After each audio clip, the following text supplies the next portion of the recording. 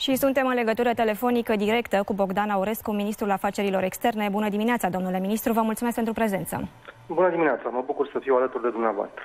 Suntem așadar la patru zile distanțe de 9 mai, ziua Europei. Iată că Uniunea traversează acum o perioadă foarte complicată. Cum vedeți răspunsul pe care Uniunea îl dă în timpul acestei crize de sănătate? Începuturile au fost ceva mai timide, ca să spun așa.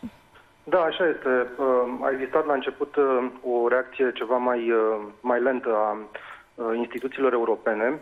Mi-aduc aminte că în perioada 14-17 martie a apăruse acea problemă foarte delicată a transporturilor de mărfuri în interiorul Uniunii Europene și la acel moment a trebuit să negociez direct cu diversi omologi din statele care se află pe acest uh, coridor de tranzit care s-a creat, uh, modalitățile concrete în care să se realizeze uh, acest tranzit. Uh, s-a reușit uh, obținerea unui acord uh, la nivel, iată, interguvernamental, după care uh, după ce s-a încheiat, s-a încheiat acest, această înțelegere, Uniunea Europeană a venit cu un set de linii directoare privind transportul de mărfuri și de persoane, însă ulterior Uniunea Europeană a acționat din ce în ce mai bine, mai amplu, mai detaliat pe diverse componente, de exemplu, pe zona de măsuri economice și financiare S-a creat un cadru mult mai flexibil pentru uh, statele membre, s-au flexibilizat uh,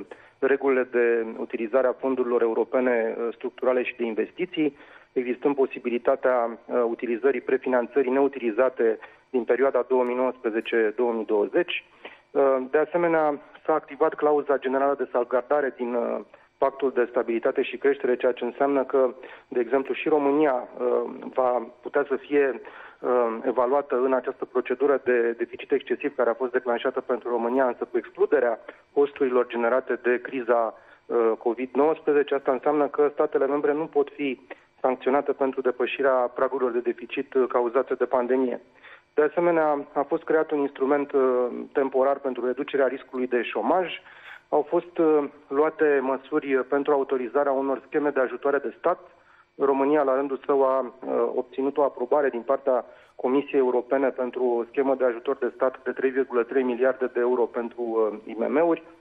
La nivelul uh, măsurilor legate de sănătate, de coordonarea măsurilor în domeniul sănătății, au fost demarate programe de achiziții în comun de echipamente și dispozitive medicale. Chiar România este statul membru al Uniunii Europene care răzduiește acea facilitate de uh, echipament, de achiziție de echipamente uh, medicale, acel Rescue uh, stockpiling. Uh, deja am început să achiziționăm și să transferăm către uh, state membre, Italia, Spania, uh, echipamente achiziționate prin, uh, prin acest mecanism.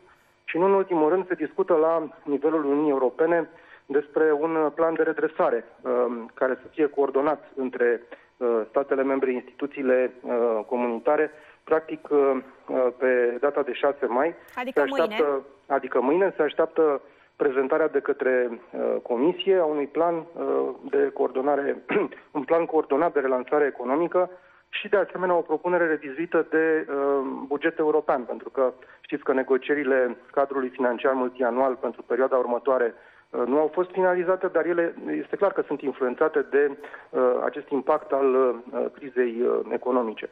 Prin urmare, iată că răspunsul uh, Uniunii Europene, deși uh, declanșat cu uh, o anumită încetineală în prima fază a uh, crizei generate de pandemie, uh, a fost uh, în cele din urmă unul care răspunde uh, în cea mai mare parte uh, așteptărilor statelor membre.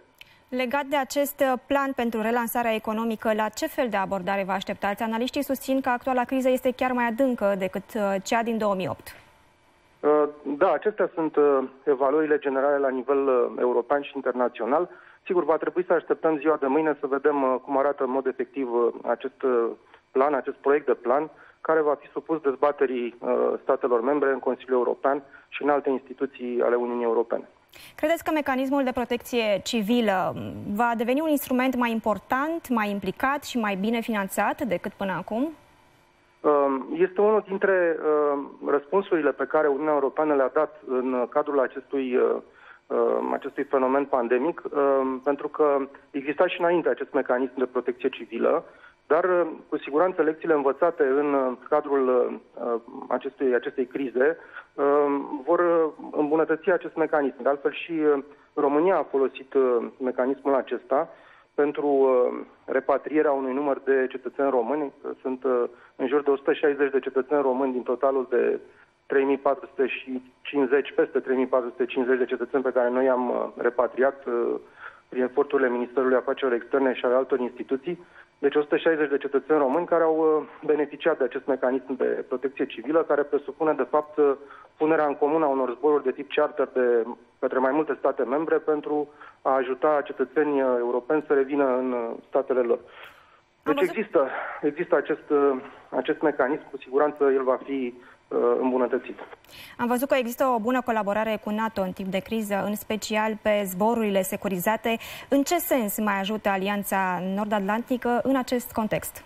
Alianța Nord-Atlantică a avut la rândul ei un răspuns prompt uh, și România a fost primul stat uh, aliat care a utilizat acel mecanism de, care se cheamă Strategic Airlift Capability, deci capabilitate de transport strategic, reușind să aducem din uh, Republica Corea, din Corea de Sud, uh, o serie de echipamente medicale prin acest mecanism. La rândul nostru contribuim la acest uh, mecanism prin punerea la dispoziție a unei aeronave Spartan pentru zboruri pe distanță scurtă și medie. Prin urmare, iată, funcționează și în cadrul NATO aceste instrumente de sprijin reciproc, de sprijin comun, mai există de asemenea în cadrul NATO și uh, uh, posibilitatea realizării unei platforme de schimb de uh, informații și de lecții învățate în ceea ce privește implicarea autorităților uh, militare în sprijinul autorităților civile. Am văzut că și la noi, în cadrul stării de uh, urgență, uh, armata a ajutat uh, la menținerea ordinii publice, la implementarea măsurilor care au fost uh, decise prin ordonanțele militare uh, autoritățile civile. Există de asemenea un uh, răspuns uh, la nivel NATO, dar și la nivelul Uniunii Europene și există și posibilitatea unei cooperări intensificate pentru combaterea dezinformării. Uh, o temă extrem de actuală astăzi, inclusiv în contextul pandemiei de COVID-19. Recent a apărut informația că Austria a cerut culoar feroviar pentru românii care vor să muncească acolo. Știm că au existat culoare speciale de tranzit uh, și în Ungaria. Cum e cooperarea între statele membre pe vreme de pandemie? Um, vă spuneam că uh, la început uh, Uniunea Europeană, neimplicându-se direct în realizarea acestor coridoare, a fost nevoie de negocieri între statele membre. Și în ceea ce privește acest coridor de tranzit uh, atât de mărfuri cât și de persoane uh, prin uh, Austria, apoi Ungaria spre România, a fost nevoie de discuții pe care le-am avut cu omologii mei, atât austriac cât și ungar, pentru a conveni regulile de tranzit. Deci nu a fost deloc simplu. Am discutat despre mai întâi despre deblocarea acelor acumulări de persoane care așteptau la frontiera dintre Austria și Ungaria, apoi am uh, reușit să obținem uh, o înțelegere cu privire la uh, orele de tranzit prin Ungaria, apoi am discutat despre și am reușit să convenim un regim pentru tranzitul de o parte și de alta frontierei română-ungare pentru lucrătorii transfrontalieri. Deci este nevoie de o cooperare intensificată care s-a dovedit că funcționează între uh, statele membre pentru a reuși să rezolvăm aceste probleme stringente pentru uh, cetățeni. Dar și Uniunea Europeană a uh, intervenit în cele din urmă și a propus și a adoptat o serie de reglementări la nivel european care să reglementeze acest tip de tranzit. Și dacă tot am amintit despre muncitorii români, v-aș întreba și despre discuțiile pe care le aveți cu reprezentanții țărilor de destinație. Cum vă puteți asigura că angajatorii au grijă de muncitorii noștri? Uh, ambasadele uh, României și misiunile consulare din străinătate au reacționat întotdeauna extrem de prompt atunci când uh, au apărut informații cu privire la posibile probleme legate de condițiile de uh, muncă, de respectarea condițiilor de uh, protecție sanitară pentru cetățenii români care lucrează în străinătate. Uh, au acționat chiar și atunci când nu au existat uh, solicitări de asistență consulară din partea acestor uh, persoane și au contactat foarte rapid toate autoritățile, atât la nivel local cât și la nivel de land, dacă vorbim despre situația din Germania, cât și la nivel federal, pe toate dimensiunile, atât pe dimensiunea de muncă, cât și pe dimensiunea de sănătate, pentru a soluționa aceste chestiuni așa cum uh, este prevăzut de altfel în legea 156 pe 2000, în articolul 5, care prevede uh, competențele Ministerului de Externe în uh, această speță. Trebuie spus aici că Ministerul de Externe poate acționa pentru uh, implementarea prevederilor contractelor care sunt încheiate. În urmare, este nevoie ca aceste contracte să fie încheiate în uh, condiții foarte bune, pentru ca uh, misiunile noastre diplomatice, misiunile noastre consulare să poată să-și îndeplinească în mod eficient uh, competențele așa cum sunt ele prevăzute de legea română. Domnule ministru, în acest moment spațiul Schengen nu mai este funcțional așa cum era. Credeți că se vor modifica anumite criterii după ce va expira această stare de urgență? Vă gândiți poate, nu știu, la o strategie pentru ca și noi să ajungem într-un final acolo? Uh, chestiunea legată de uh, aderarea României la spațiul Schengen rămâne o problemă uh, prioritară, un obiectiv prioritar pe agenda de politică externă și el depinde într-o destul de mare măsură de reforma spațiului Schengen, care a fost deja declanșată cu ceva timp în urmă. Cu siguranță că însă și impactul acestei crize a pandemiei de COVID-19 va avea și el un anumit rol în toată această ecuație. Este însă prea devreme uh, să discutăm acum despre aspectele de detaliu, despre modul efectiv, concret, în care uh, aceste uh, evoluții influențează modul în care se va reforma spațiul Schengen, deci și șansele pe care le are România de a adera la spațiul Schengen.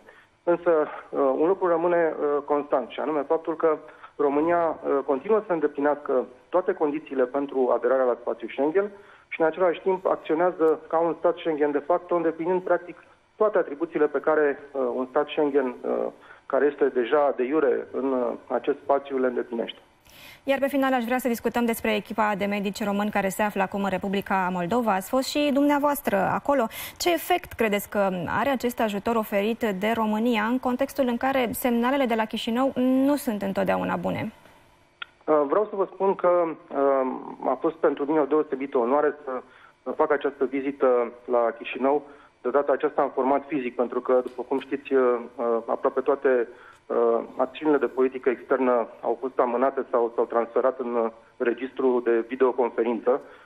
Am fost deosebit de onorat să însoțesc această echipă de medici și de personal sanitar sunt 52 de persoane care formează această echipă medicală românească de elită, care, din care uh, fac parte 41 de medici și de uh, asistenți medicali și care lucrează deja din uh, finalul săptămânii trecute, uh, atât la Chișinău cât și la Bălți și la uh, Cahul.